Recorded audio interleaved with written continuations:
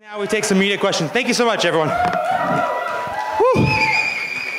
Elias, as you had mentioned at the start, back here, uh, you know, you've been looking for an opportunity like this, co-main event, top-ranked guy. What does this mean to you, this fight? Bega, say that again one more time. Sorry. Said you've been looking for an opportunity like this for a long time against a ranked guy, co-main event. What does this mean to you? It means everything. Like I said, uh, five years now in the UFC.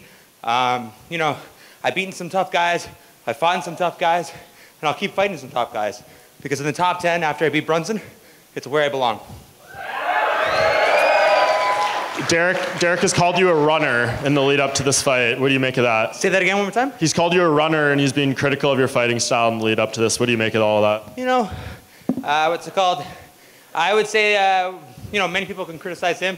He's uh, been knocked out a couple times. I could say different things like that. But uh, let's just say I'm the more cerebral fighter. I'm the smarter person in there, and I'll leave the smarter person out. But uh, I think Derek is the, a great opportunity because he almost needs to jump in. He needs to break that, that line between us. For just to kind of break it down some more, every fighter starts at 50 50, right? You have to almost approach their line in order to uh, get what you want, right? It's 50 50. You want it 60 40. You want it 70 30. He feels the need to break that line because it actually goes even beyond that. Like, I kind of, I wouldn't say stalk my opponents, but I kind of like psychoanalyze them in the capacity that in a previous life, in high school, university, he was a sprinter. But I'm going to show him the difference between a sprint and a marathon.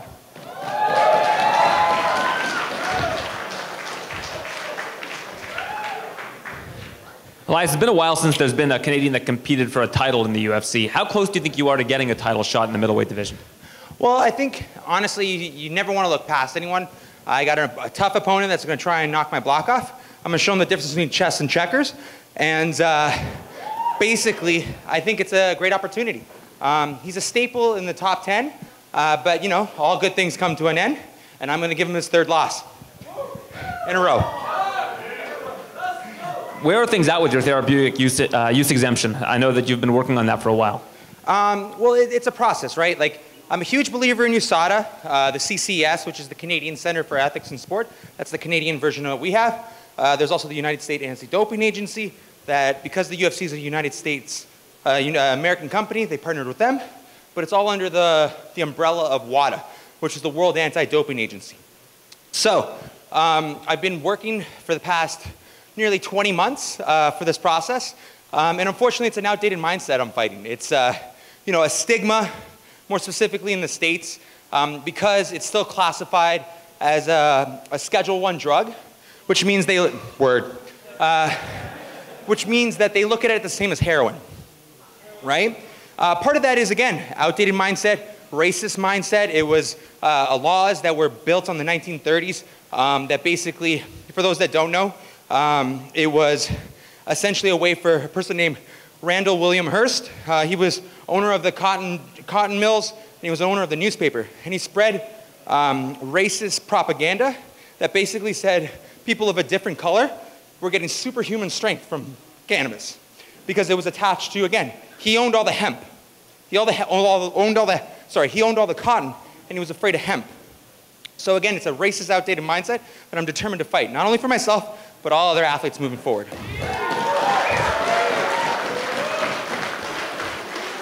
Beg your pardon? Um, again, because the UFC, they, have to, they hired a, a third-party tester. Again, I believe in USADA. I believe in anti-doping agency. I believe in clean sport. Um, and uh, you know, I'm very one of the proudest moments in my five years uh, in the UFC was when the UFC, when the UFC partnered with USADA because it was a big step forward. They they have the highest protocol, the highest testing in any sport. That's a great thing, and we should all like applaud. We should all like respect that. That's a big decision, right? And they, and I'm very thankful for them. They support my, my own journey, and it's an individual thing because that's what medicine is. It's an individual thing. I personally have bilateral neuropathic pain. It's essentially nerve damage of my upper extremities. And um, unfortunately, the way it works is other first line medicines, like opioids or you know, Vicodin, is what I'm being told to take. And again, it's kind of backwards in the sense that they'll tell me they, they've already, um, in the process, they essentially uh, agreed that I have the condition that I have, bilateral neuropathic pain. But what they want me to do is exhaust all other medicine. So I gotta take Lyrica, I gotta take opioids, I gotta take painkillers to prove that this doesn't work with me. And it's not the only, it's not that it doesn't work for me, it's also the side effects. Let's talk about Lyrica, right? It's um, essentially, uh, what's it called, a painkiller.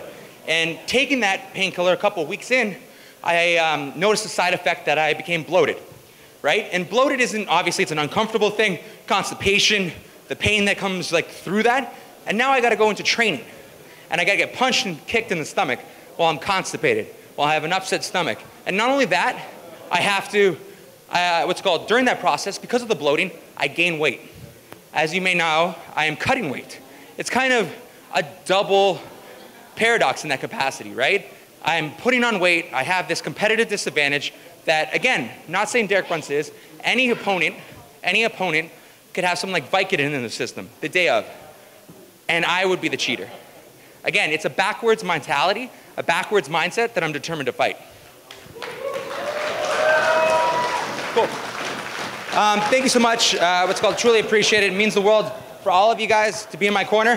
When I step in there, I'm not only fighting for myself, I'm fighting for my country, and I'm fighting for you. Boom. Cheers, guys. Boom. Boom.